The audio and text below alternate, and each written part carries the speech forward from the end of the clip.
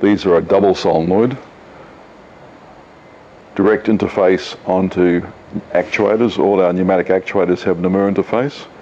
The units are designed to go directly onto the, onto the actuator, uh, come complete with a screw set, manual override function.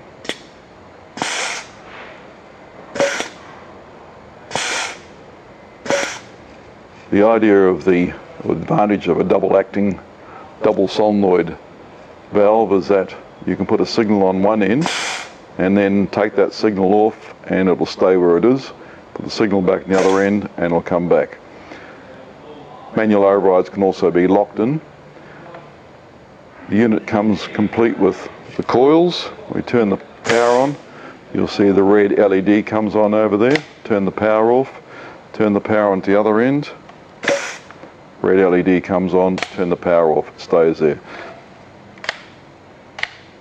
So the units can be sent in both directions. The units also come can come as an optional extra with flow controls to control the speed of the unit. Now you can control the speed of operation. We screw this one in here.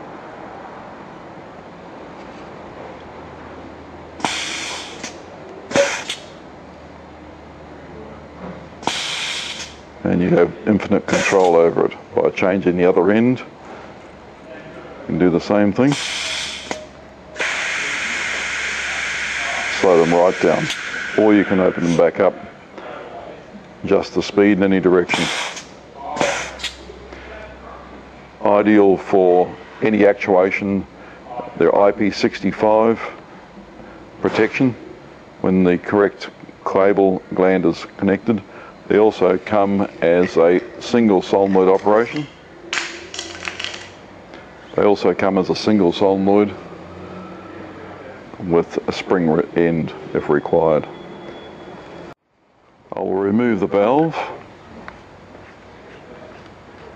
Valve comes with two O-rings and a mounting kit so it can mount directly onto the NAMUR interface.